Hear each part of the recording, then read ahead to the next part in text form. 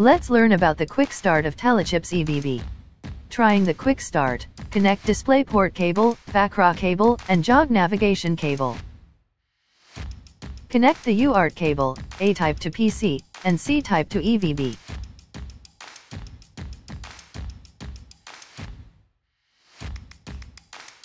To check log of the EVB, execute the Tera Term software in your PC and turn on the power.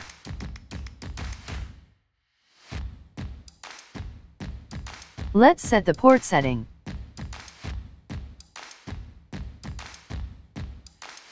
Click Menu, Make New, and select a port from the drop-down menu, Interface 0 for A72, Interface 1 for R5, Interface 2 for A53.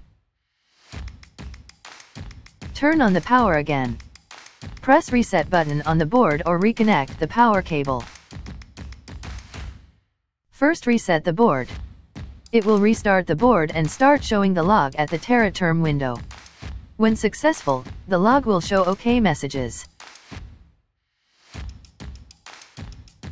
Press enter, if it works properly. It will bring login message.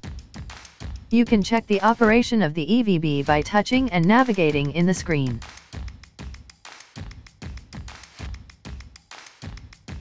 You can also restart the EVB by reconnecting the power cable to check the log. It will restart the board and start showing the log at the Tera Term window. When successful, the log will show OK messages. Press enter, if it works properly.